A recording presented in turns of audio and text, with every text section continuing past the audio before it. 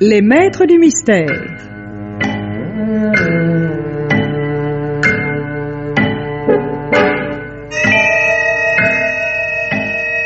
Parmi les chefs-d'œuvre du roman policier, Germaine Beaumont et Pierre Billard ont choisi pour vous ce soir L'étrange cas des trois sœurs infirmes de Charlotte Armstrong dans une adaptation radiophonique de Henri Charles Richard avec Robert Murzeau dans le rôle d'Ince Whitlock, Jean Mauvais, Sylvie Février, Muriel Chanet, Geneviève Morel, Madeleine Barbulé, Marie-Jeanne Gardien, Henri Virlogeux, Jean-Pierre Lituac et Pierre Olivier.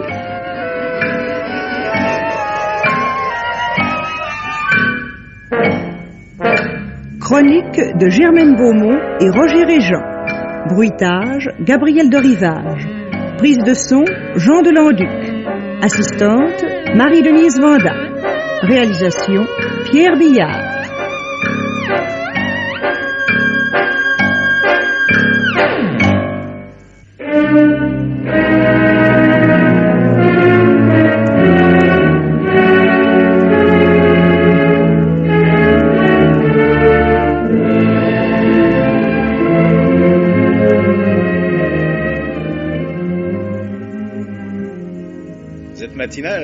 Vous aussi, Fred.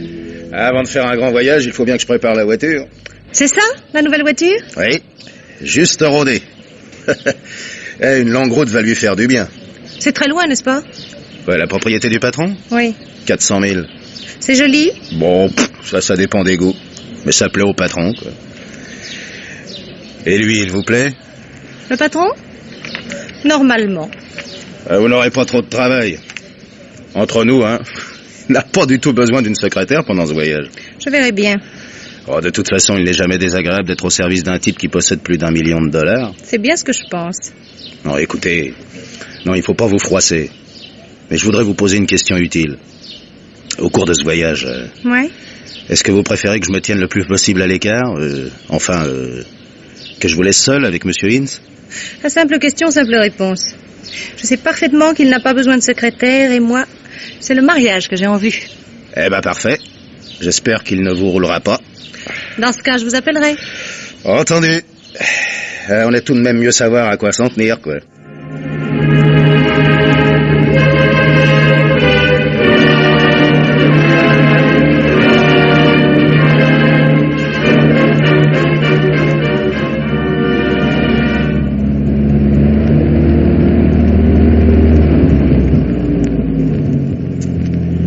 Qu'y a-t-il, Fred Pourquoi n'allez-vous pas plus vite Deux vitesses bloquées, monsieur. Dois-je essayer de réparer ou continuer à cette vitesse jusqu'à la ville la plus proche Où sommes-nous Nous avons encore au moins 65 000 à faire pour atteindre le domaine. Mais Oganoi n'est pas loin. Il vaut mieux continuer, Fred. J'espère qu'on nous invitera à dîner, nous pourrons nous reposer un peu. Bien. Qui nous invitera Mes sœurs. Elles habitent au Gaoni. Nous nous arrêterons chez elles. Vous avez des sœurs Trois. Elles habitent la maison paternelle, car je vais vous confier un secret, ma chère Alice. Je suis né à Ogaoni, État de Michigan. Je ne savais pas.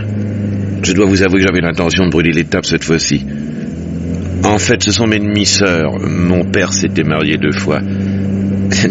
Nous ne sommes pas de la même génération. Ah, si cela vous ennuie, Non, non, nous serons mieux qu'ici. Cela va être un événement pour elles.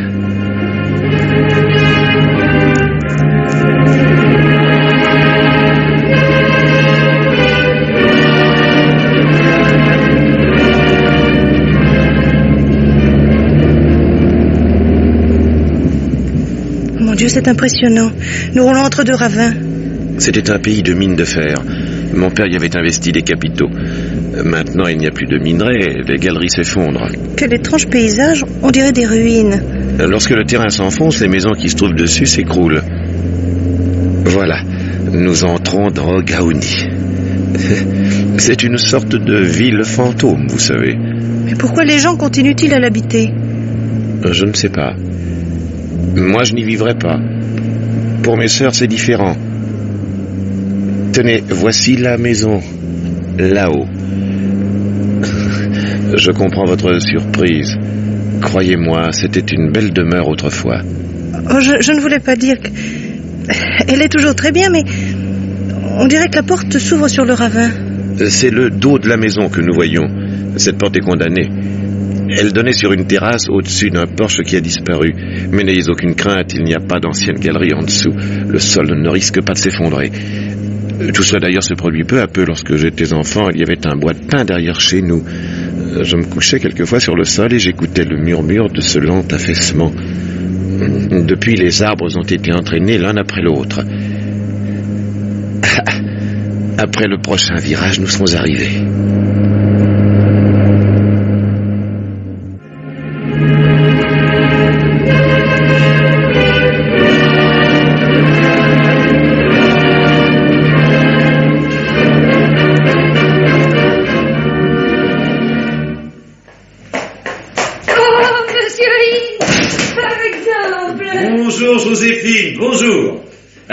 Présente Joséphine, la fidèle servante de la maison.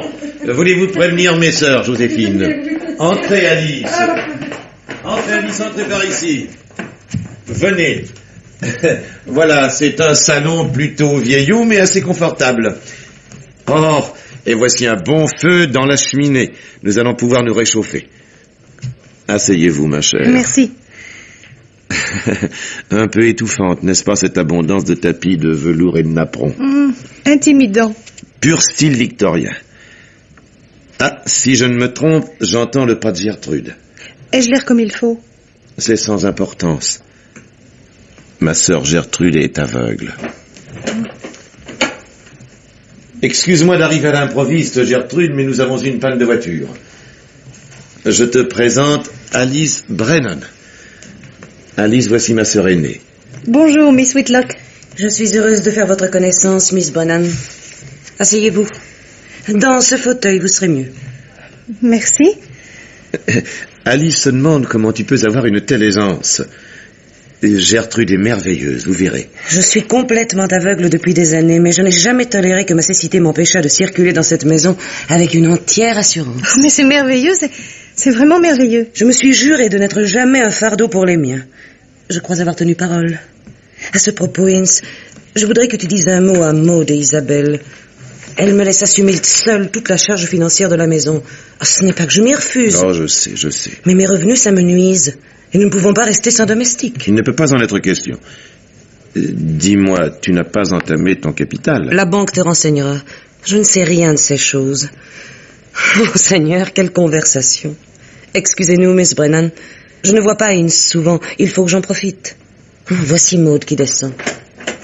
Oh, quelle surprise, Ince. Ce n'est pas souvent que tu nous fais l'honneur de venir nous voir.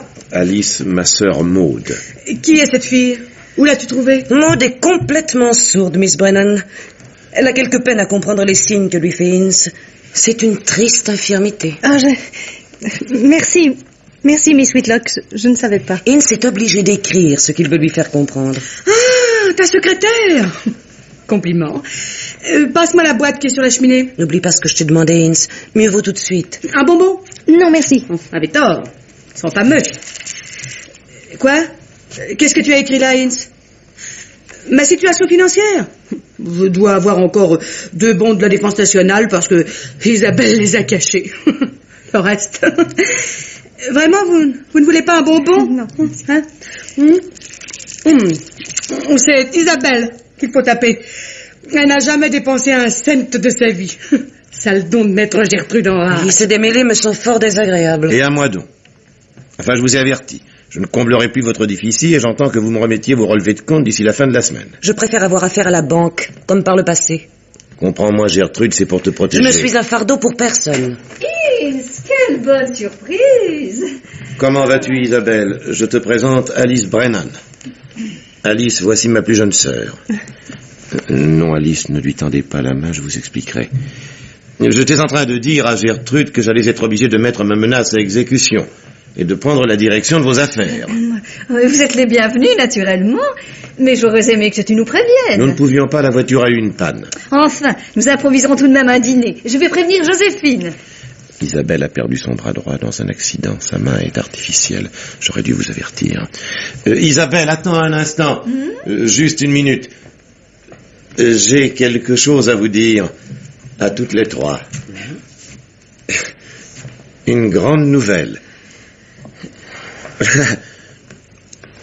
Alice et moi, nous allons nous marier. Qu'est-ce qu'il dit?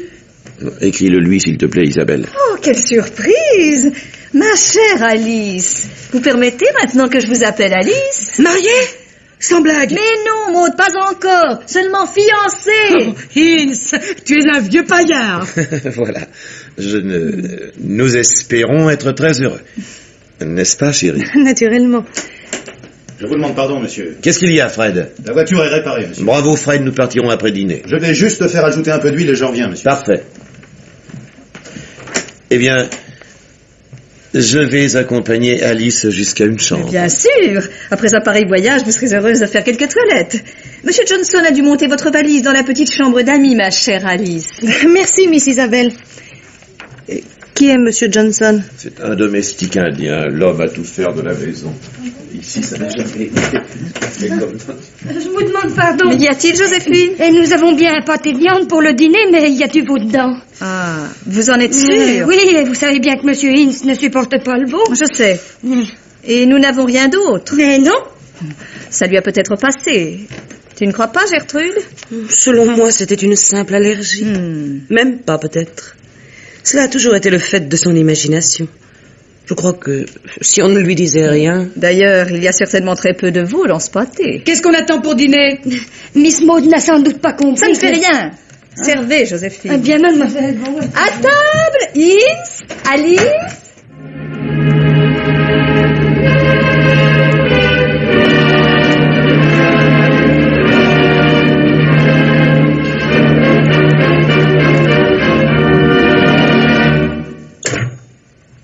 Allô Allô, mademoiselle, pouvez-vous me donner le numéro d'un médecin? Oui. Non, un docteur. Il y en a bien au moins un à Ogaoni. Mais non, je, ne suis pas d'ici, c'est urgent. Oui? Ben Oui, c'est ça, s'il n'y a que lui. je- Oui, oui, très bien. Oui, si vous pouvez me mettre en communication avec lui. je- Allô? Ah, Allô, le docteur Follette. Je vous appelle de la maison des sœurs Whitlock. Monsieur Ince Whitlock est ici, il vient d'être pris d'un violent malaise. Oh, Je, suis la, la secrétaire de Monsieur Whitlock, Alice Brennan. Oui, mais non, je, vous appelle parce qu'on m'a donné votre numéro à la poste, d'ailleurs. Oui? Oh, Oui, il est indispensable que vous veniez. Monsieur Whitlock voudrait continuer son voyage. Je ne crois pas qu'il soit en état de le faire. Oh, oh oui, très malade. Vous connaissez la maison, je suppose. Vous savez, en haut de la colline. Oh, Naturellement. Oui, merci, docteur, nous vous attendons. Euh, Inutile, monsieur veut partir tout de suite. Ah, Fred, vous voici. Où étiez-vous passé? Euh, J'ai demandé des renseignements à monsieur Johnson sur la route à suivre. Enfin, tout à coup, il n'y avait plus personne dans la maison. C'est- extraordinaire. Euh, Où sont-elles? Oh, Je ne sais pas. Disparu comme par enchantement. J'ai été obligée de demander l'adresse du médecin à la poste. Et Puisque je vous dis que monsieur veut partir, il m'a dit de porter votre valise dans la voiture. Oh, et s'il est plus gravement malade en route, en pleine nuit, loin de tout Euh, Vous serez là pour vous occuper de lui Hum, Surtout maintenant. Qu'est-ce que vous voulez dire? Oh, Excusez-moi, j'ai entendu par hasard tout à l'heure l'annonce quasi officielle du mariage. Mes compliments. On ne félicite pas la fiancée. Oh non, je pensais à la rapidité de l'opération. Veuillez changer d'attitude, s'il vous plaît. Ok. Vous avez raison de me remettre à ma place. Mais alors qu'est-ce que vous décidez? Oh, Je, je ne veux pas prendre une pareille responsabilité. Soit.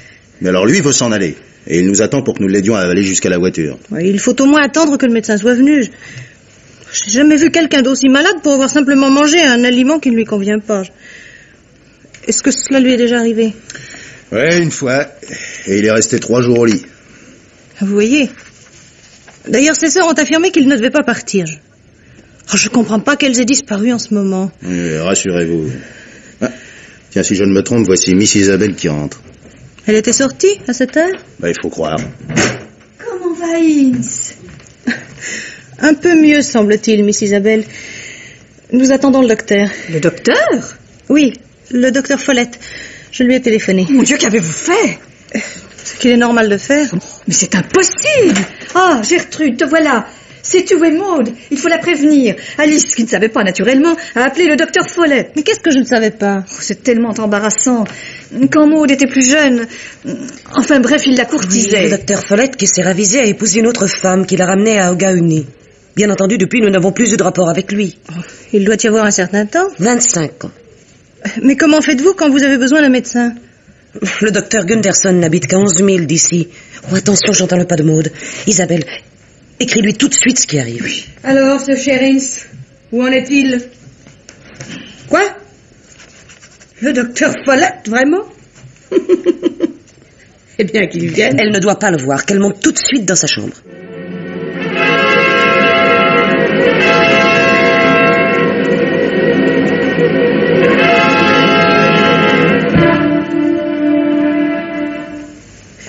Bonjour, docteur. Je vous remercie d'être venu. Si vous voulez bien passer par ici, Monsieur Whitlock est dans le petit salon. De quoi souffre-t-il exactement Euh, Il a mangé d'un pâté de viande qui semble l'avoir intoxiqué. Cependant, aucun de nous n'a été indisposé. Ce n'est pas surprenant, Ince. Whitlock a toujours été ainsi. Tenez, si vous voulez venir par ici. Eh bien, Joséphine. On dirait que vous venez de voir passer le diable et son train. là. Mais moi, ce qui m'étonne davantage, c'est que personne n'ait pensé avant que ce pâté rendrait Monsieur Whitlock malade. Ah, mais moi je l'ai dit. Ah, vous l'aviez dit, vous. Ah, bah, enfin, ça ne nous regarde pas. hein. Oui. Ces demoiselles ont cru que depuis le temps, Monsieur Ince n'était plus aussi sensible. oui, hein, oui, oui, bien sûr, elles ont cru ça. Eh ben, elle ne s'arrange pas en vieillissant, hein. Surtout Miss Maud. ah, si le docteur la revoyait de près, eh ben, il ne regretterait sans doute pas d'avoir changé d'avis autrefois. hein. Fred, oui vous pourrez mettre ma valise dans la voiture. Le docteur semble dire que ce n'est pas très grave et comme Monsieur Whitlock est plus que jamais décidé à partir, je crois que nous ne tarderons pas. Eh ben, tant mieux. Moi, je ne comprends pas cette hâte de prendre la route en pleine nuit. Bah, c'est sans doute parce que vous vous trouvez bien ici. Oh non Enfin, je sais pas pourquoi, j'ai une appréhension. Mhm. Est-ce que nous allons encore suivre cette route entre deux ravins? Au départ, oui. Mais ensuite, on bifurque sur un pont. Il y en a un autre chemin, mais il paraît qu'il est barré pour des travaux. De toute façon, je, je suppose que vous connaissez bien le pays. Moi, à peu près, oui, ne vous inquiétez pas. Alice Notre malade n'est pas très brillant, mais enfin, avec votre aide, il peut partir. Il n'y a vraiment aucun inconvénient, docteur. Oh, il va se sentir faible, bien entendu, mais sa voiture est très confortable, et il m'a assuré que sa propriété l'était encore davantage. Et puis, vous serez avec lui, Miss Brennan. Oui. Alice s'inquiète trop à mon sujet. Sans vous, docteur, elle m'aurait enfermé ici. Je vous suis très reconnaissante d'être venu. Oh, Je m'excuse de vous avoir peut-être mis dans une situation embarrassante. une véritable aventure pour elle. Où sont-elles? Je ne sais pas. Bon, allons au revoir, et soyez prudents. Au revoir, docteur. Eh bien, nous n'avons aucune raison d'attendre davantage. Où est Fred? Il est allé porter ma valise dans la voiture. D'ailleurs, le voici. Je suis là. Mais Mais peu importe, elle n'avait qu'à rester ici. Route. Attention, monsieur Êtes-vous blessé, Ince Non, je... Qu'est-ce que c'est? La grosse lampe en porcelaine qui était au premier. Ouais, on n'a pas idée de poser une lampe pareille sur une table aussi près de la rampe du palier. Vous alliez juste passer en dessous et... Merci, Fred. Si vous ne m'ayez pas poussé contre le mur. Oui, heureusement que je l'ai vu au moment où elle basculait là-haut. Ah, Mais ça alors, mais je, je ne vois pas comment cela a pu se produire. moi. Il aurait fallu que quelqu'un par maladresse ou... Seulement, il n'y a personne apparemment. je- Partons. Vous feriez mieux de vous reposer un instant. Vous ne tenez pas debout. Que se passe-t-il Ince La lampe est tombée, Miss Gertrude. Quel fracas Mon Dieu La grande lampe de maman Mais comment c'est-il arrivé, Alice? J'étais dans la cuisine. Je n'en sais vraiment rien, Miss Isabelle. Ince, tu n'as rien. Tu es bien pâle. Je me sens beaucoup mieux, au contraire. Oh, voilà un gâchis qui a fait ça. J'ignore, mais il me fallait justement un petit choc de ce genre pour me remettre d'aplomb. Au revoir. Je vous écrirai. Et n'oubliez pas que je désire le relevé de vos comptes. J'enverrai un homme du bureau pour les vérifier. Montrez-lui bien tout. Il me faudra également vos procurations. Au revoir. Au revoir.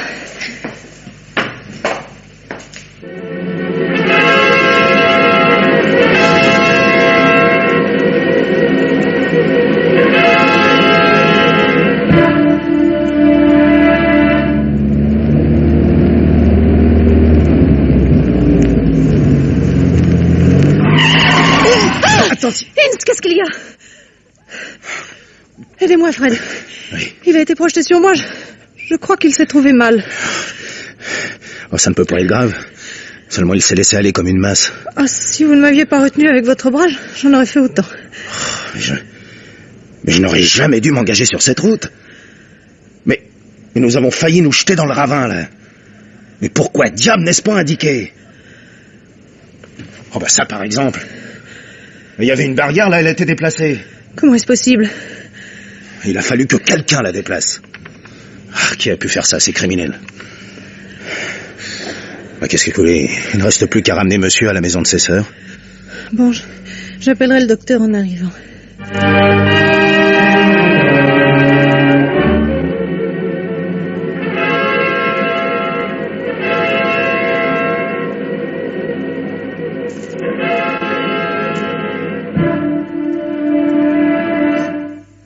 Alice. Où est Alice? Ne vous agitez pas. Miss Brennan est là. Vous êtes en sécurité dans votre lit, mais il faut remuer le moins possible. Je suis ici, Inns. Qu'est-ce qui est arrivé? Nous avons eu un léger accident. Vous somnoliez sans doute dans la voiture, vous avez été surpris. Oh. Ah. Qu'est-ce que j'ai? Deux côtes fêlées, c'est pourquoi je vous ai recommandé l'immobilité, mon cher. Mais je ne veux pas rester ici. Allons, allons. Alice, persuadez le docteur de me laisser partir, je vous en prie. Voyons, Inns, vous ne pouvez pas voyager avec des côtes brisées. Je ne veux pas rester ici. J'ai peur. Vous ne comprenez pas que j'ai peur. Pourquoi? Parce que c'est ainsi et que tout ce que vous pourrez dire n'y changera rien. Mais il vaut mieux que vous restiez dans ce lit, Whitlock. Vous allez prendre ces deux pilules pour vous calmer, Mm. et Miss Brennan vous en donnera d'autres toutes les trois heures. Ne vous inquiétez pas, nous montrons la garde. Mais je suis sûre que vous avez trop d'imagination. Vous ne pouvez pas comprendre le sentiment de mes sœurs. Quand notre père est mort, sa fortune, qui était considérable, a été partagée entre nous quatre. Mes sœurs sont restées ici et moi, je suis parti pour Chicago. Je me suis assez bien occupé de mes affaires. Mes Maud et Isabelle n'ont plus rien. Et bientôt, elles n'auront que le revenu de Gertrude pour vivre. Jusqu'ici, je les ai remises à flot.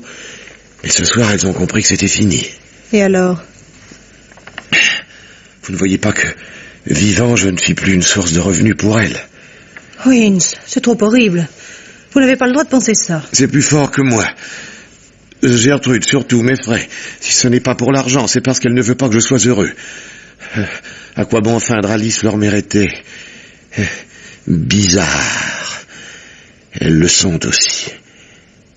J'ai peur. Je vous dirais que moi aussi j'ai peur d'elle. Je, je n'aime pas vos sœurs, Inns. Moi non plus. Alors qu'allons-nous faire? Vous connaissez Arthur Killin, mon avoué? Naturellement. Vous allez l'appeler. Vous avez son numéro? Oui. Bon. Et dites-lui de venir ici par le premier train. Mais pourquoi, Inns Je veux changer mon testament. Je veux vous laisser tout mon argent, Alice. Mais De façon que je puisse vivre assez longtemps pour vous épouser. si vous avez tellement peur, peut-être serait-il aussi simple de partir quand même. Je vous demande pardon, mais en qualité de médecin, je dégage ma responsabilité. Alors, faites comme il vous plaira, Inns. Où allez-vous? Exécutez vos ordres. Mais il ne faut pas, voyons. Qu'y a-t-il, Fred? Oh, rien, rien. Vous restez encore auprès de monsieur, docteur? Oui, j'ai quelques soins à donner. Je vais revenir. Brennan Alice Que voulez-vous? Mais vous n'allez pas téléphoner d'ici Pourquoi pas? Mais aussi vite qu'il aille, ce Killing ne sera pas ici avant demain. oui. Évidemment, et alors? Bah, d'ici là, il vaudrait mieux qu'on ne sache pas trop qu'il vient. Pourquoi? Mais parce que si elle suppose que demain il peut être trop tard, ils mettront la nuit à profit, comprenez-vous? Oh Seigneur, je, je ne puis penser perpétuellement cela. Vous aussi, vous imaginez qu'on va le tuer Même en considérant les choses de sang-froid, euh, Vous avez de la chance de garder le vôtre. eh ben, quoi qu'il en soit, je vous demande d'être prudente. Bon, d'accord. S'il lui arrive quelque chose, vous êtes refaite d'un million de dollars. Merci, je, je n'avais pas envisagé la chose sous cet angle. Ah, je reconnais que je n'ai jamais vu quelqu'un aussi contrarié par l'annonce d'un testament en sa faveur. Alors, vous n'espérez pas que je vais vous donner mes raisons Non, non, je voulais simplement vous rappeler qu'un million de dollars, ça fait beaucoup d'argent. Je n'oublie pas. Et si vous pouvez à l'avenir m'épargner vos réflexions, ça sera parfait. En tout cas, n'hésitez pas. Envoyez-moi promener si j'exagère. Écoutez, Fred, sans vous, je ne sais pas où nous serions actuellement. Mhm. Franchement, je, je compte sur vous pour nous aider à sortir de ce cauchemar. Mhm. Mais alors, ne perdons pas notre temps. Ah oh mon Dieu, Fred Cessez de vous appuyer contre cette porte. Vous écrasez les doigts de quelqu'un dans la rainure. Mais qu'est-ce que vous faites Lâchez cette porte par pitié. Au point où nous en sommes, la personne à qui appartient cette main aurait dû crier bien avant nous. Vous ne trouvez pas ça curieux Ouvrez cette porte. Voilà. Miss Isabelle. Oh, ce n'est rien. Je passais simplement. J'allais ouvrir la porte au moment où Fred a dû s'appuyer. Vous pourrez dire à Ince que nous irons lui souhaiter bonne nuit tout à l'heure. Mhm. Eh ben, cela prouve en tout cas que sa main droite est bien artificielle. Ah, je je n'y ai pas pensé, j'ai cru que c'était une véritable main. Ça fait une impression terrible. Ah, Je me demandais justement quelle preuve nous avions que ces trois sorcières fussent vraiment aveugles, sourdes et manchottes. Pourquoi? Ah, il y a tout de même des choses qu'un véritable infirme ne peut pas faire. Une aveugle peut difficilement repérer le moment où quelqu'un passe sous une lampe pour la renverser. Une manchotte n'est pas capable de déplacer un lourd cheval de frise, et une sourde ne peut pas entendre quand on demande des renseignements sur la route à prendre en voiture. Ah, si nous pouvions savoir laquelle des trois il faut neutraliser. Vous croyez que l'une d'entre elles seulement est... Ah, je sais pas pourquoi, mais j'ai cette impression. Et là, je ne suis pas détective. En tout cas, Isabelle écoutait ce que nous disions. Oui, bien sûr. Et comme nous ne savons pas à quoi nous en tenir sur son compte, bah, cela signifie une nuit sans fermer l'œil. Inutile d'aller le dire à Ince, il est déjà suffisamment effrayé. Non, je m'installerai simplement avec mes couvertures en haut de l'escalier. S'il y a la moindre chose qui ne va pas, vous me trouverez là. On vous a donné la petite chambre d'amis, n'est-ce pas? Oui, mais je tiens à prendre mon tour de garde. Ce ne serait pas prudent. Vous tombez de sommeil. Seulement, n'oubliez pas qu'il faut prévenir cet avoué. Maintenant, je peux téléphoner d'ici, puisque de toute manière, Isabelle a entendu. Euh, Peut-être pas tout. Et ce que nous avons dit était assez confus. Ah, voyons, je cherche, je cherche. À une heure pareille, dans ce pays perdu, d'où voulez-vous que j'appelle? Ah ben...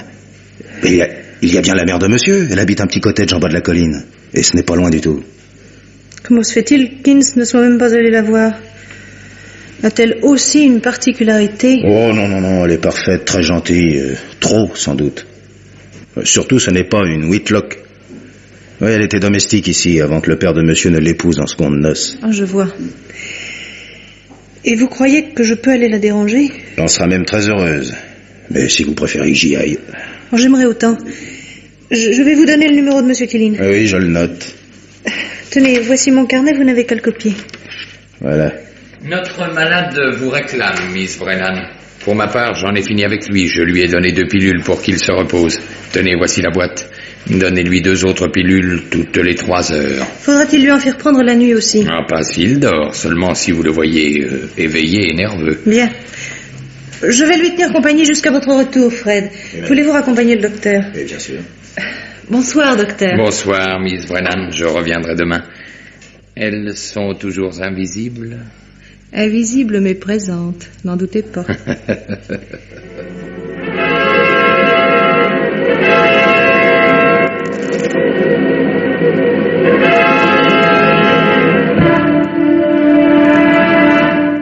Où est Fred?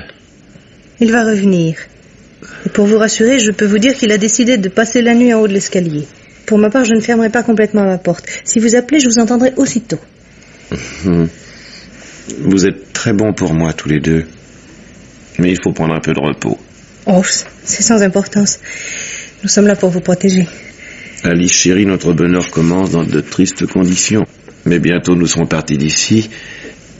Et vous verrez, notre vie sera merveilleuse. Mais oui, Ince. Dormez bien sagement maintenant. Ah, c'est vrai. Isabelle m'a prévenu qu'elle viendrait vous dire bonsoir. Entrez. Entrez. Mon cher, n'as-tu pas trop mal? Non, pas trop.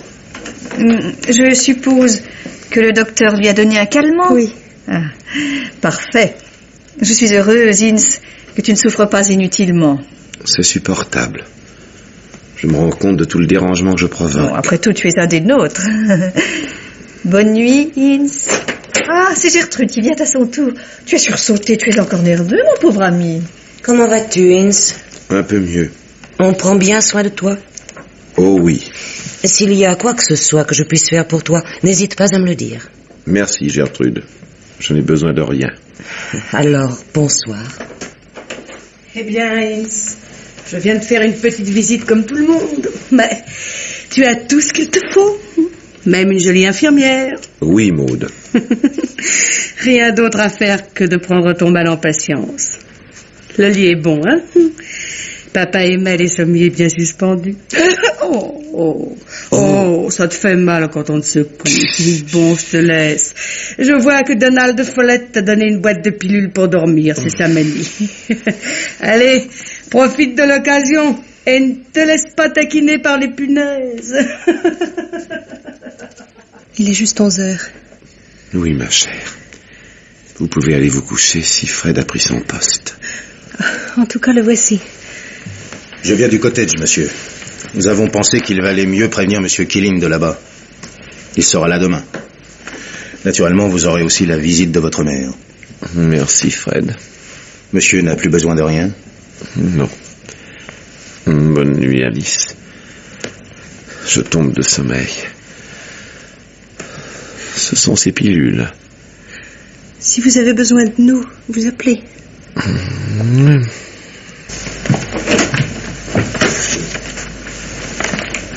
Et maintenant, je ne sais pas ce que la nuit nous réserve, mais il y a de l'orage dans l'air. Le ciel est noir comme de l'encre. Pourtant, nous ne sommes qu'au printemps. Ouais, je dirais même que dehors, il ne fait pas chaud. Hein. Ah, mais moi j'étouffe ici. Comment est-ce chauffé? Par un vieux système d'air chaud qui vient de la cave. C'est monsieur Johnson qui s'en occupe. Pourquoi appelle-t-on monsieur cet étrange personnage qui sent si fort et qui est si laid? Ah, C'est un Indien en qui vous pouvez avoir toute confiance malgré l'apparence. Oh, tenez, à propos d'Indien, il y a chez la mère de monsieur un pensionnaire qui vous connaît. Un Indien? Non, un de vos anciens professeurs qui fait des recherches historiques ici. Parce que Oganoi a été une ville indienne. MacDougall Duff. Oui, c'est ça. Quand j'ai prononcé votre nom, il m'a tout de suite questionné. Et il connaît aussi Arthur Killing. Ah, Nous étions ses élèves ensemble. Mais depuis, Monsieur Duff a laissé le professorat pour une autre activité. Oh, c'est inespéré, Fred. Il est détective. Et c'est ce que j'ai cru comprendre. Les allusions que j'ai faites à ce qui se passe ici l'ont rudement intéressé. Il viendra vous dire bonjour demain. Oh, je- Maintenant, je... je me sens capable de dormir. Oh, à moins que vous n'acceptiez que je vous remplace. Allez, disparaissez, allez. Écoutez, y a-t-il une maison plus calme que celle-ci?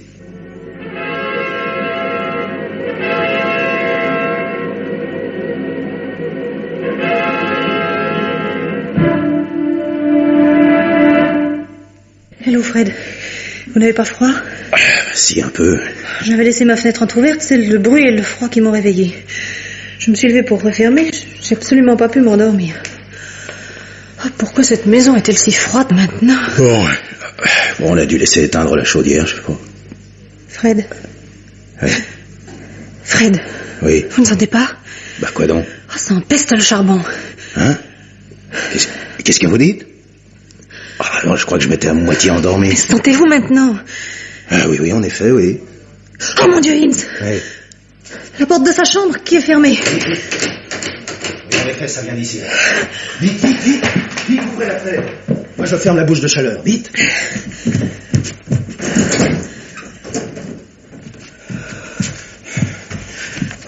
Ah, je n'y comprends rien. Vous n'avez pas remarqué l'odeur dans votre chambre? Non. Hinz Hinz Oh, Regardez, Fred, il ne se réveille pas. Donnez-lui de l'air, vite, vite, allez. Faut que je descende voir ce qui se passe à la cave. Téléphonez au docteur en descendant. Ok.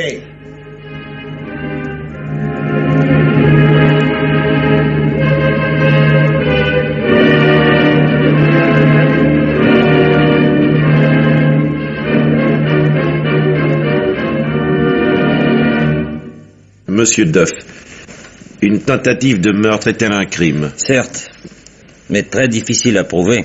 C'est pourtant ce que je vous demande puisque vous êtes détective et que la chance vous a conduit ici. Une chance qui s'appelle Alice, monsieur Whitlock. Hum, Doublement, car sans elle et Fred, je ne serais plus de ce monde. Mais personne maintenant ne me fera plus croire à une série de coïncidences. Je vois que Fred est de mon avis. Euh, oui, cette fois, l'hypothèse d'un accident est exclue. Lorsque je suis descendu à la cave cette nuit, j'ai trouvé tous les robinets de chauffage fermés, sauf celui de la chambre de monsieur. Quant au tirage, il était complètement fermé pour que le calorifère dégage du gaz carbonique. Je suis d'accord avec vous. Voici au moins un attentat certain, mais nous possédons peu d'éléments d'étude. Il faut que je sache. Il faut que je sache si c'est l'une d'elles qui s'acharne ainsi contre moi ou si elles sont toutes d'accord. Dans un moment, Arthur Killin sera là, je signerai un nouveau testament, mais je veux savoir. Ce n'est peut-être pas une curiosité inutile. Vérifions d'abord les faits. Vous vous êtes endormi rapidement, monsieur Whitlock. Oui, l'effet de la pilule, je suppose. Les pilules sont dans cette boîte. Oui. Vous permettez Oui. Qu'y a-t-il Non, rien. Je ne peux pas voir une boîte de médicaments sans examiner ce qu'elle contient, c'est une manie. Et vous, Fred Où êtes-vous allé après avoir quitté Monsieur Whitlock Je me suis assis en haut de l'escalier de service. Pourquoi celui-là et non le grand? Bien, parce qu'il est plus près de la porte de monsieur. La tempête s'est déclenchée vers 11h15. Les trois grâces avaient regagné leur chambre. Enfin, Isabelle et Maude. Et alors, pour ce qui est de Gertrude, je ne peux rien affirmer. Elle couche au rez-de-chaussée. En tout cas, je n'ai pas remarqué d'aller et venue. Et vous, Alice? L'orage m'a réveillée. Juste après, dans une accalmie, il m'a semblé entendre un bruit. Hein? Oui, un, un drôle de petit bruit, une, une sorte de gloussement.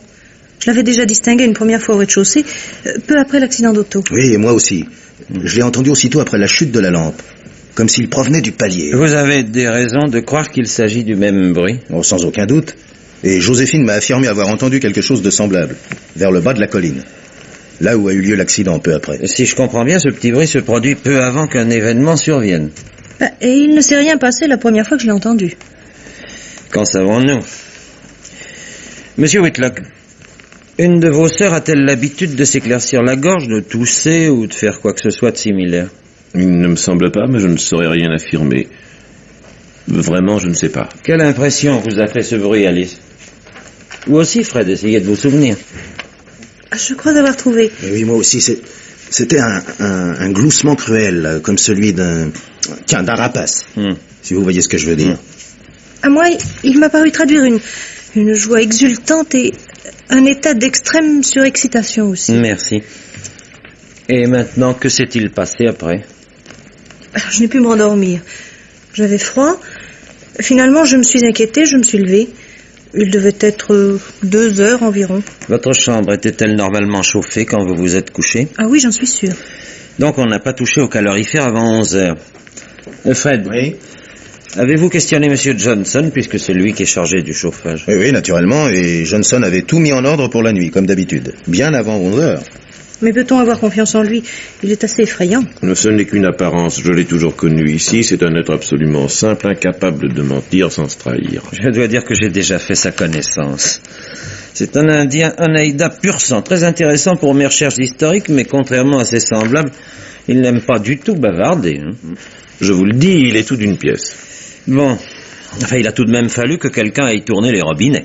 Fred, avez-vous vu quelqu'un bouger au premier étage après 11 heures? Non, personne, non. Vous étiez en haut de l'escalier de service, mais ne pouvait-on passer par le grand escalier sans que vous vous en aperceviez? Ah, attendez. Ah, peut-être Miss Maud.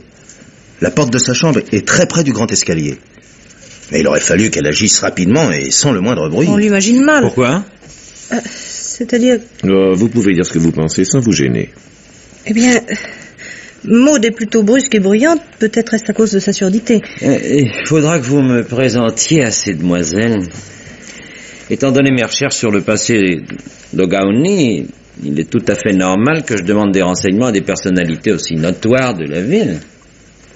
Ensuite, Eh bien, Miss Brennan a senti l'odeur de gaz carbonique et nous nous sommes précipités dans la chambre de monsieur. en somme, si nous éliminons Miss Maud à cause du bruit qu'elle n'aurait pas manqué de faire, il reste d'abord Miss Gertrude qui couche au rez-de-chaussée. Oui, mais enfin, je me demande comment une aveugle aurait pu trouver tous les robinets de chauffage sans se tromper, puisqu'elle ne pouvait pas lire les inscriptions sur les tuyaux. C'est déjà très compliqué et peu accessible pour quelqu'un d'autre. On ne peut absolument pas y arriver sans avoir le bras couvert de cambouis. Et voilà en tout cas des traces qu'une aveugle ne remarquerait pas. Nous devrions les retrouver sur l'un de ses vêtements. Dans ce cas, Miss Isabelle, avec un seul bras, aurait eu beaucoup plus de mal à faire disparaître les traces de sa main. Moi-même, avec une broche, je n'ai pas complètement réussi, alors. On a pu l'aider. Hmm. Cette sorte de gloussement que vous avez entendu semble indiquer qu'il s'agit chaque fois d'une seule et même personne. Ainsi, nous n'avons guère avancé. En réalité, nous aurons bientôt de nouvelles indications. N'oublions pas que nous avons affaire à une obsédée. Vous ne voulez pas dire, monsieur Duff, qu'il va se passer... euh, Enfin, autre chose. C'est cependant à prévoir. À ce propos, je demanderai à Fred s'il peut me conduire aussi rapidement que possible chez le docteur. Pourquoi? Non, rassurez-vous, un simple renseignement dont j'ai besoin. Entrez. Monsieur Hinz, Monsieur Arthur Killin vient d'arriver et demande à vous voir. Mais oui, faites-le monter tout de suite. Eh bien, monsieur, très bien. Quoi qu'il en soit, dans une demi-heure, j'aurai signé un Nouveau Testament Et je ne vois plus pourquoi on s'acharnerait contre moi. Eh bien, je vous le laisse.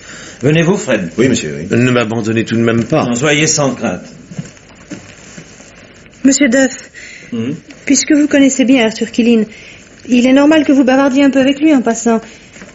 Je voudrais pouvoir m'entretenir quelques instants avec Ince. Entendu.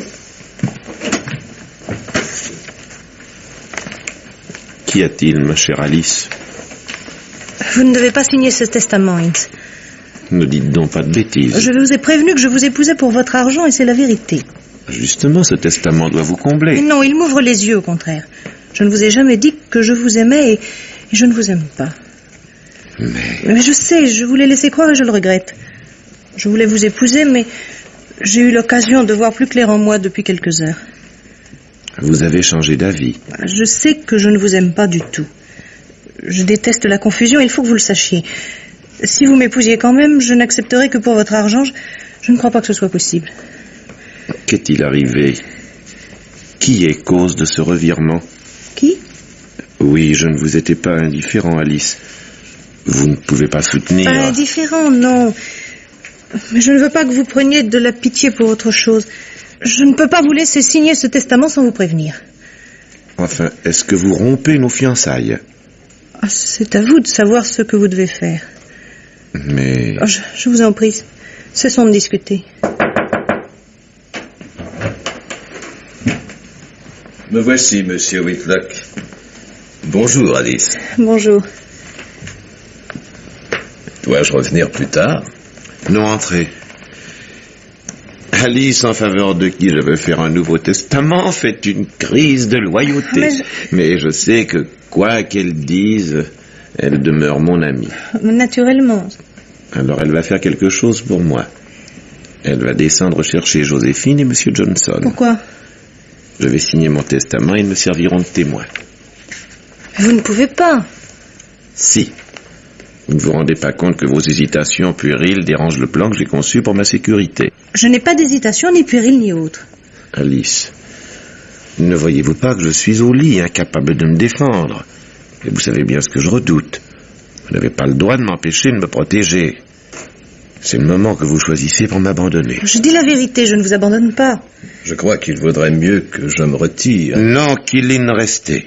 Je ne puis vous dissuader de rédiger un nouveau testament, mais, mais, mais pourquoi ne pas y mettre un autre nom que le mien? Celui de Monsieur Killing, par exemple Ah, je ferai mais- ce que j'avais l'intention de faire.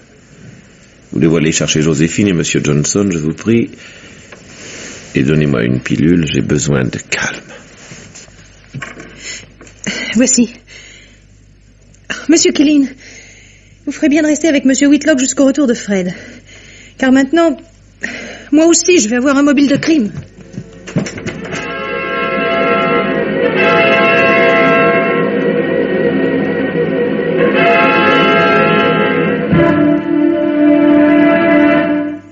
Eh bien, douce Alice, paraissez bien seule et morose dans ce noble salon. Vous avez abandonné Monsieur Whitlock? Il est avec Killing en train de signer son nouveau testament. Hein? Je suppose même que ça doit être fait actuellement. Donc il ne semble plus rien avoir à craindre. Parce que vous avez pris les pilules. Qu'est-ce que vous dites, Fred? Monsieur Duff m'a demandé de l'emmener chez le docteur pour vérifier les pilules. J'ai remplacé les véritables par de simples comprimés d'aspirine. C'est vrai, j'étais tellement préoccupée tout à l'heure que j'en ai donné une à Ince sans rien remarquer. Eh bien, quelqu'un avait glissé une pilule de strychnine dans la boîte. Et le plus curieux, c'est que le docteur a formellement reconnu qu'elle provenait de sa trousse. Un petit vol qui a dû être commis hier soir dans la confusion de l'accident. En effet. Je me rappelle que le docteur avait oublié sa trousse en bas. Je suis descendue la chercher.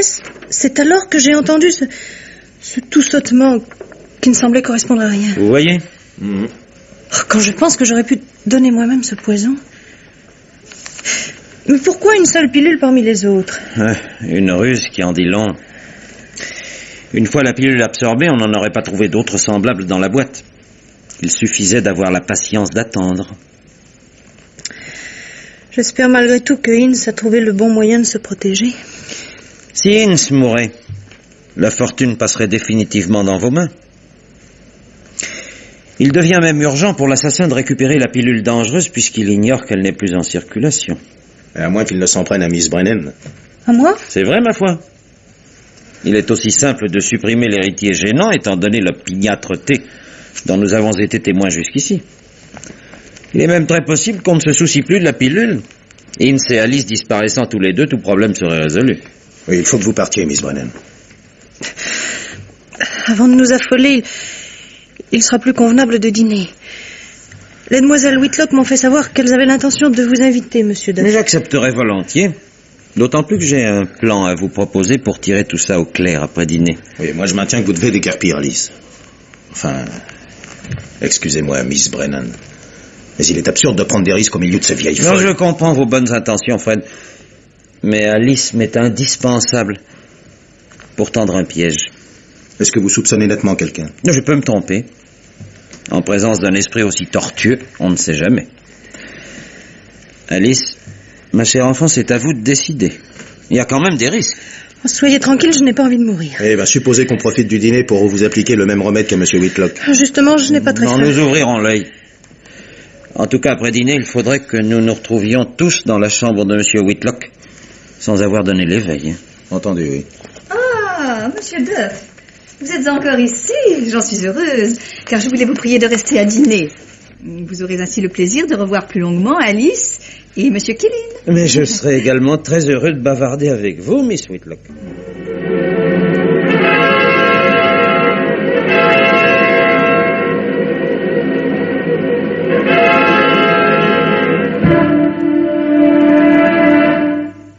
Eh bien, monsieur Duff, ce dîner dans l'ambiance Whitlock vous a-t-il permis de recueillir des indices décisifs? Mes sœurs devaient être assez moroses, sachant que mon testament a été soigneusement expédié par Killin à son étude de New York. Je comprends votre soulagement, Monsieur Whitlock. J'ai toutefois le regret de vous dire que sans y penser sans doute, vous avez mis Alice dans une position dangereuse. Hmm. On tenterait quelque chose contre elle ce soir que je ne serais pas surpris. Ah oui, je vois. Oui, Alice, il faut que vous partiez. Si, si vous vous éloignez, elles ne pourront rien vous faire et je serai en sûreté. Enfin, nous serons en sûreté. Nous nous retrouverons ensuite, n'est-ce pas, monsieur Duff? Mais vous ne désirez plus savoir qui a essayé de vous tuer avec tant d'obstination? Nous pourrons peut-être quand même découvrir une précision. Est-ce que ce sera suffisant? Peut-être pas tout à fait. Bon. Vous voilà, trois hommes vigoureux, plus Ince, qui est parfaitement capable de crier. Et moi-même, qui m'estime de taille à me défendre. Sommes-nous tellement terrifiés par une vieille femme que nous n'envisagions d'autre possibilité de salut que dans la fuite Écoutez, ne vous entêtez pas. Je ne m'entête pas, j'ai horreur des demi-mesures. Même si nous partions tous, nous ne pouvons pas laisser derrière nous une demi-folle qui peut aussi bien supprimer une de ses sœurs ou, euh, ou votre mère, Ince.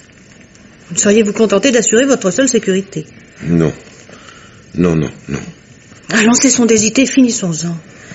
Que faire, mon Dieu, que faire? Il n'y a rien à faire. Mademoiselle veut jouer à tout prix les héroïnes. Oh, Fred, vous pourriez être un peu moins familier. Il y a peut-être un moyen de tout arranger. Alice, nous allons vous cacher en quelque endroit tandis que nous remplacerons Monsieur Whitlock dans son lit par quelqu'un ayant les côtes solides. Après quoi, il ne nous restera qu'à nous tenir tranquilles et voir venir. Oui, mais une dernière fois, moi j'aimerais que Miss Brennan réfléchisse. Oh, Fred, vous êtes tout indiqué pour prendre la place de Monsieur Whitlock dans son lit, si vous le voulez bien, naturellement. Oh, sûrement, sûrement. Monsieur Whitlock occupera le réduit qui vous sert normalement de chambre, tandis que Killin et Alice lui tiendront compagnie. Je vois pas pourquoi je ne resterai pas ici. Ben, de toute manière, il faut fermer votre chambre à clé pour que les demoiselles Whitlock ne découvrent pas trop facilement que vous n'y êtes pas. Bon, entendu. Mais moi, que- comment pourrais-je sortir de ce lit? Et nous vous porterons, monsieur, vous allez voir. C'est très facile. Allez, Oh, attention, hein. Évitez de vous plaindre trop fort, sinon toute la maison sera au courant de votre déplacement. Je viens de jeter un coup d'œil. Tout est éteint, elles ont l'air d'être couchées. Je crois que nous pouvons y aller. Allons-y, doucement. Où serez-vous, monsieur Duff? Ne nous abandonnez pas. Je me sens très nerveux. Non, non, je serai là, soyez tranquille, mais pour le moment, il faut que je vous quitte ostensiblement. Bonsoir, monsieur Whitlock. Reposez-vous bien.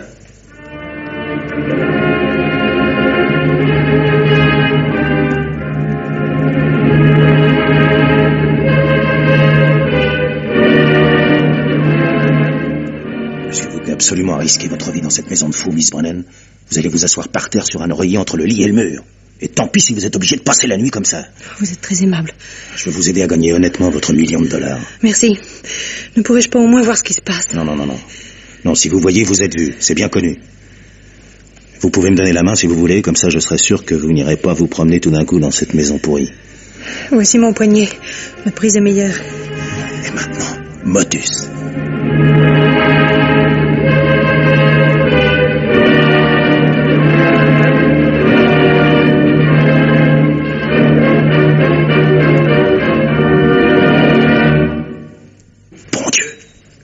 C'est vous qui avez éteint la veilleuse Mais non, le courant est coupé.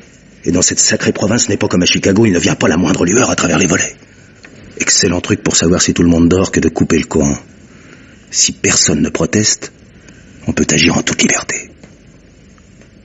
Écoutez, Oui, c'est curieux, on dirait qu'on traîne un meuble sur le palier. cette fois, je, je suis sûre qu'on a tourné une clé dans une serrure. Et attention, attention. Cette fois, on vient par ici. Ah non. Non, non, non, c'est parti. Oh, Est-ce qu'on sait? Elle va peut-être mettre le feu à la maison. Ah, dites pas de bêtises. Dois-je aller voir? Non, on revient.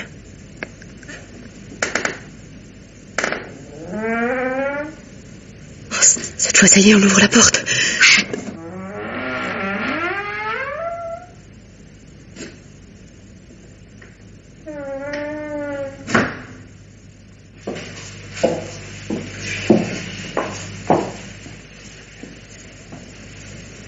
Hinz. Hinz. Tu dors Hinz.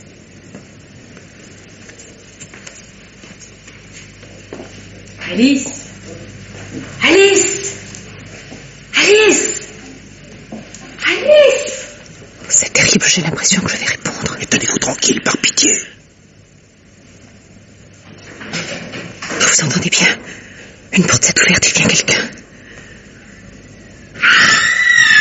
Mon Dieu Mais taisez-vous, bon sang, écoutez. Qu'y a-t-il Qu'est-ce qu'il y a Qu'y a-t-il C'est toi, Gertrude Oui, c'est Isabelle. Oui. Restez tous à vos places. Ah, oh, c'est vous, monsieur Duff. Mais comment se fait-il? Mais il doit s'être passé quelque chose. La lumière. Isabelle, je ne comprends pas. La commode a été déplacée sur le palier. La porte sur le ravin est ouverte. Si je ne connaissais pas exactement la place de chaque chose. Vous voulez dire que vous auriez pu tomber dans le vide? Oui. C'est exactement ce qui est arrivé à quelqu'un. Où est Ince Inutile de me tromper. Je sens très bien que ce n'est pas lui qui est dans son lit. En effet, Miss Gertrude, vous avez une merveilleuse sensibilité. Hélas, celle qui n'avait pas les mêmes dons a été trompée par le nouvel emplacement de la commode et a ouvert la porte sur le ravin, croyant entrer dans la chambre de M. Whitlock, d'où on appelait. N'est-ce pas, Miss Isabelle? Et naturellement, je l'ai appelé. La panne d'électricité, Ince qui ne répondait pas, j'ai eu peur. J'ai cru qu'il était arrivé quelque chose à Ince. Pauvre petite Alice. Vous vous trompez, Miss Isabelle. Alice est ici avec Fred. Je crains plutôt que ce ne soit votre sœur Maud. Mais cette porte devait être fermée à clé, ce n'est pas possible. Miss Isabelle l'a rendu possible. Maud n'a pas pu entendre. Vraiment Vous ne saviez pas qu'elle n'était pas sourde. Elle simulait pour que vous la laissiez en paix. Et vous tout particulièrement, Miss Isabelle. Il est bien regrettable qu'elle ait commis l'imprudence de répondre à votre appel. Vous avez manqué vos autres crimes. Et celui-là n'a pas fait la victime que vous espériez. Ce n'est pas vrai. Nierez-vous également qu'il y ait une pilule de poison dans cette boîte Monsieur Duff, vous n'avez pas le droit de parler ainsi à ma sœur. C'est pourtant la vérité, Miss Gertrude. Ah, très bien pour le retour de la lumière. C'est Fred qui est allé rétablir les plombs. Il est parfait, ce garçon. Mon Dieu, Miss Isabelle Laisse cette boîte Bon Dieu, c'est empoisonnement. J'aurais dû me méfier. Allez vite appeler le docteur. Il n'y a certainement aucun moyen de la sauver. Et après tout, Fred, je crois que maintenant vous pourrez rapporter Monsieur Whitlock dans son lit. Puisque Killeen est avec lui, il pourra définitivement annuler ce testament. Décidément, je n'en veux pas. Et le mariage? Ah, pas celui-là, en tout cas. Même pour un million de dollars. Et un autre? Fred. Alice.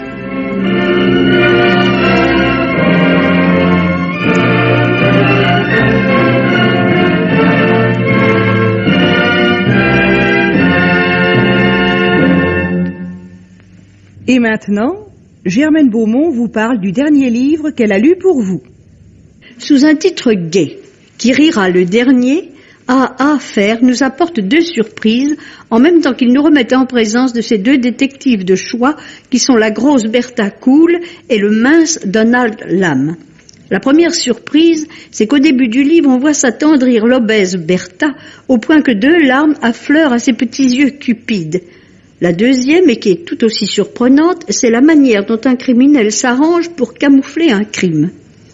La raison d'ailleurs pour laquelle Bertha pleure comme un caïman, c'est qu'ayant commis une de ces gaffes majeures dont elle a le secret, elle ne peut se tirer d'affaire qu'en confiant son sort et celui de l'agence à Donald, lequel, grâce à son astuce bien connue, évitera peut-être à Bertha l'humiliation de verser non seulement des pleurs, mais des dommages d'intérêt ruineux. Quant au camouflage original du crime, il m'est bien entendu impossible de le révéler sans trahir l'auteur, lequel naît sous le pseudonyme de A.A. Fair, Curl Stanley Gardner. Je peux dire toutefois que Donald se trouve amené à enquêter sur la disparition d'une jeune femme qui, au dire d'une voisine du ménage, a été assassinée par son mari, lequel aurait emmené le cadavre de la malheureuse enroulé dans une couverture. Bien entendu, la voisine, qui est une pigrièche, confirme ces déclarations à qui veut l'entendre. Mais quand Donald se présente chez le soi-disant assassin, c'est sa victime qui, toute souriante, vient ouvrir la porte. Et voilà notre détective fort décontenancé.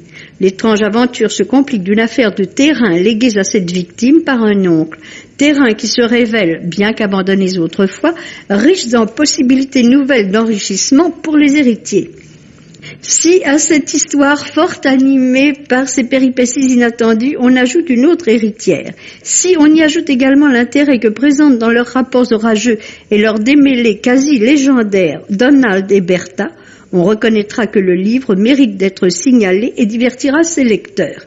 Qui rira le dernier par A. A. Fer est édité aux presses de la Cité dans la collection Un mystère. Roger et Jean vous parlent du dernier film qu'il a vu. Eddie Constantine n'a rien perdu de son charme, ni son coup de poing de sa force. Pourrait-on dire en paraphrasant la formule inoubliable du mystère de la chambre jaune. Dans Incognito, son nouveau film, il reste le parfait Superman moderne que ses rôles précédents ont installé dans son personnage. Il est maintenant voué à jouer les Lemmy Caution jusqu'à la fin de ses jours, et si cette fois il ne pouvait prendre le nom de son héros, puisque le scénario d'Incognito est d'Albert Simonin, du moins y fait-il allusion à la fin de son aventure en nous laissant entendre qu'il est un Lemmy et qui ne peut pas dire son nom, un Lemmy incognito en quelque sorte. Évidemment, on aimerait bien que l'histoire servant de prétexte à ces ébats sportifs et sentimentaux soit un peu moins usée que celle inventée par Albert Simonin pour ce film. Eddie Constantine apparaît, fait son numéro de boxeur de charme, et cela suffit au plaisir de tous ses admirateurs. Il faut avouer que ce diable d'homme est terriblement sympathique. Il est un peu l'oiseleur et le ménestrel des temps atomiques, et il se dégage de sa personne une poésie qui, au XXe siècle, est peut-être après tout l'équivalent de cet amour courtois et de ces cours d'amour du Moyen Âge. Autour de ce preux chevalier motorisé, on a disposé quelques pions qui jouent leur rôle avec tout l'effacement désirable. Danick Pattison, Gabi André et Tilda Tamar. L'échiquier, on le voit, est bien décoré.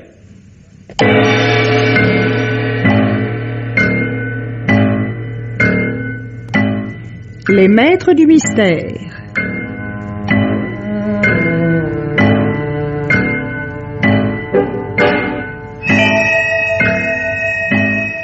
Parmi les chefs-d'œuvre du roman policier, Germaine Beaumont et Pierre Billard avaient choisi pour vous ce soir L'étrange cas des trois sœurs infirmes de Charlotte Armstrong dans une adaptation radiophonique de Henri Charles Richard.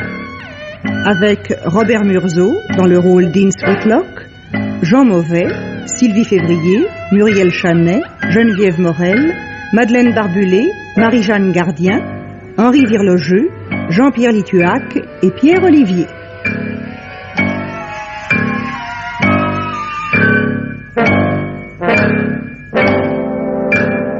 Chronique de Germaine Beaumont et Roger Régent. Bruitage, Gabriel de Rivage. Prise de son, Jean de Landuc. Assistante, Marie-Denise Vanda. Réalisation, Pierre Billard.